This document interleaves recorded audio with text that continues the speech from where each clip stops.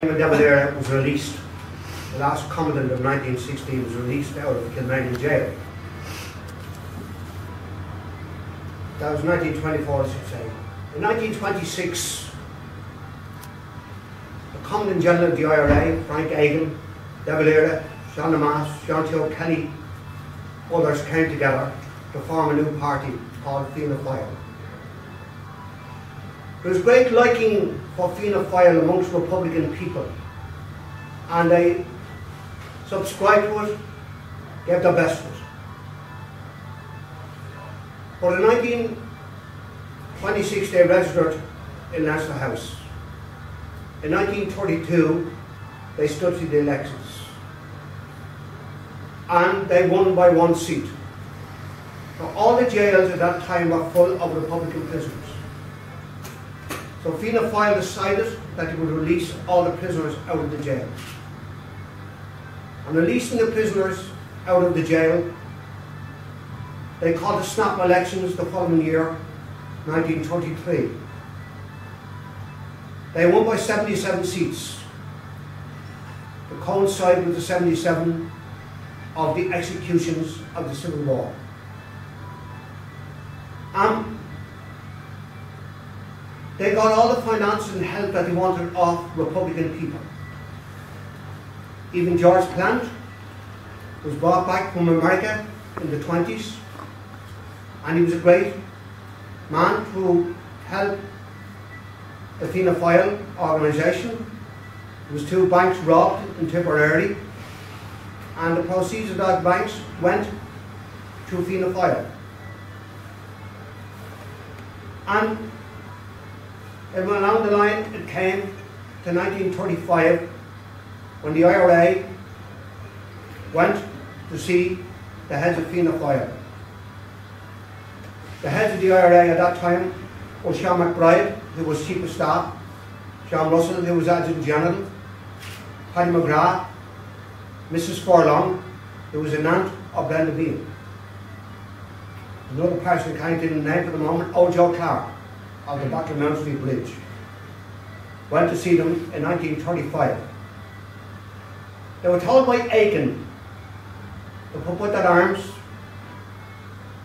for a few years and strike for the freedom of the north of Ireland and to get all the aid and help that they wanted of Fianna Fáil.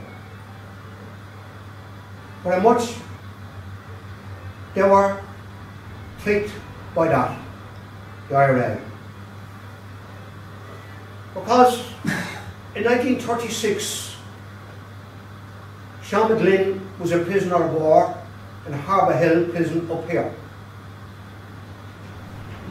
He was one of them that was released in 1922, rearrested because he had arms and with other men, and we found ourselves back in Arbour Hill. Now, he got an awful severe beating and was kicked to death by Free State Army Redcaps. They turned around and said that he hung himself. They put sheets down, like bits of rope, put around his neck to say that he hung himself. But the autopsy proved that he had been brutally ill treated at that time. Now, there was no prosecutions allowed into the beating that he got and the murder of him. Other prisoners that was in Arbour Hill at the time, elderly men, told me that when they, they were young at the time, but they were elderly when I met with them, and they told me of the cruelty that there was in Arbour Hill against Republican prisoners by Free State Army Redcaps. They should not have been allowed as warders in that place because these were men, perhaps of the Civil War period, who had carried out desperate atrocities against republicanism below across Ballyseedy and in other places. Perhaps some of them was on the executions of the 77 and should have been, there should have been civilian warders in it. But no inquest, no nothing into Sean McGlynn. That had passed. 1937, Peter McCarthy from Dublin here, he fought the Black and Tans. He fought in the Civil War on the Republican side. He got a pretty nervous breakdown in prison.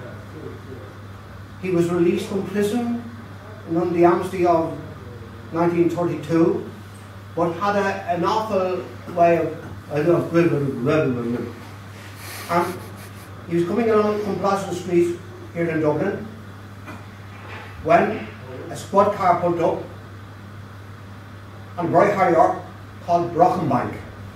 They had a chemist here in Thomas Street. Brockenbank. Detective called Brockenbank. Shot him dead. Shot McCarthy dead. It was put down that through him putting his hands through his pocket that he was going for a revolver. The man was unarmed. It was just a kind of a symptom from the Civil War period. Um, no charge against Brockenbank. No charge at all whatsoever. Chris was born in 1939, an IRA man.